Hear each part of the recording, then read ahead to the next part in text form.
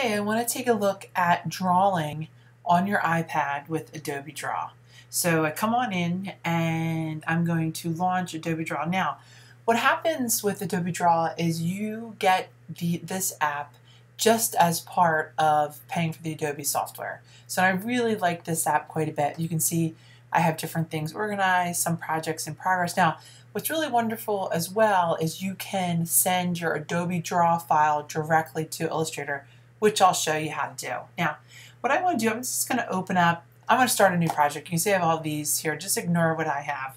Um, and I'm going to hit plus to open it up. Now, I have all these different choices. I'm going to start with the iPad landscape.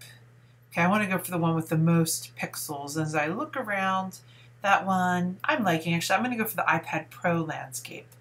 And I click, and there I have it. Now, I want to give you an overview of these tools. And I'm working with the Apple Pencil here. So I start each one as I come on in and I click onto it. Uh, I can see that I have the size, right? So I can make the size larger. And what I'm doing is I'm just taking, you put your finger down and moving it around. I have my pencil moving it around.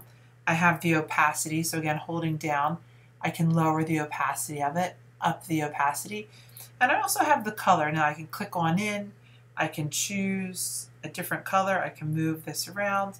I can pull this on up and choose whatever color it is that I'd like to work with. All right, so I'm going to go for like this color right in here and I'm going to click and move around. So I can see that this mark right here um, has a certain kind of look. Now, I'm going to undo this and I undo and keep going back. What I want to show you is you can come around and close it on in and closing your shape and click in the center and the shape should fill.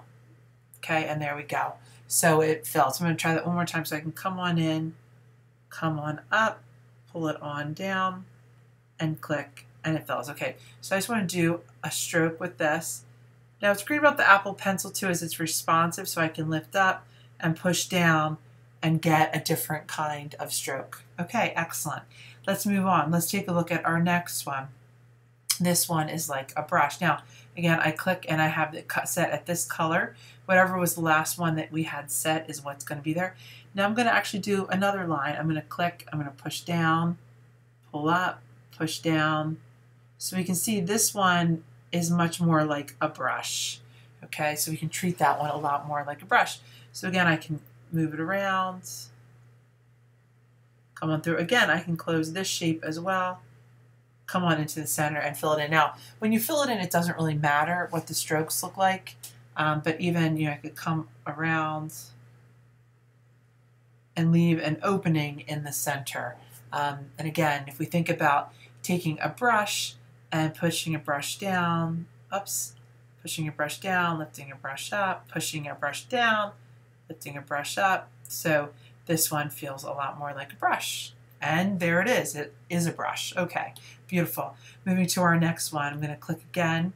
Again, I have the opacity way down. I'm going to up the opacity. and I'm going to change the color to go more with like the colors that I'm working with.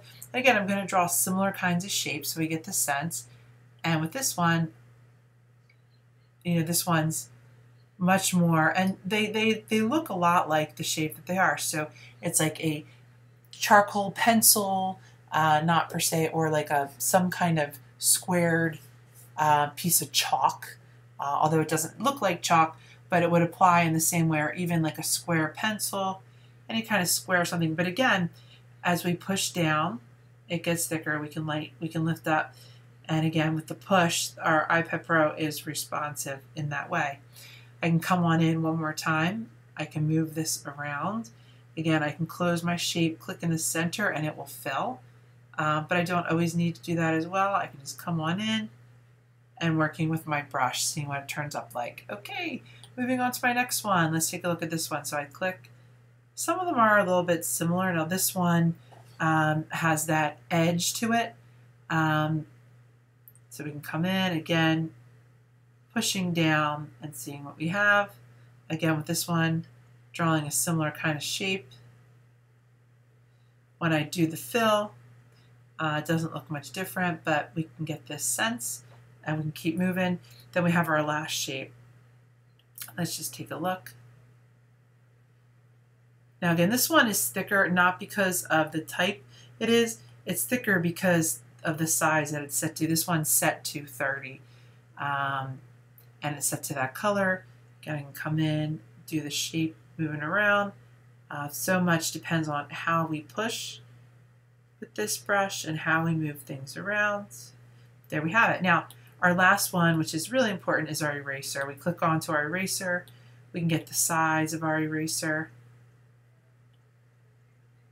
Okay, and let's take a look. So I can come in, I can erase this. I can erase, erase, erase. And I can also make my eraser smaller. Right, I can come in and, okay, I'm going to go even smaller. Let's go down to like,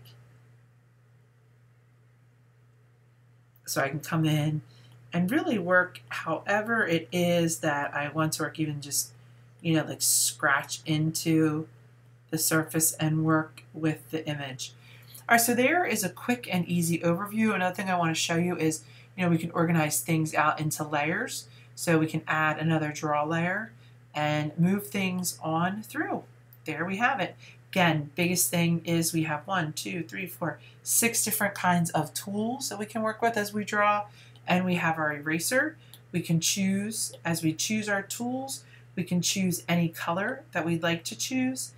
And we can also work with the opacity and the size and erasers.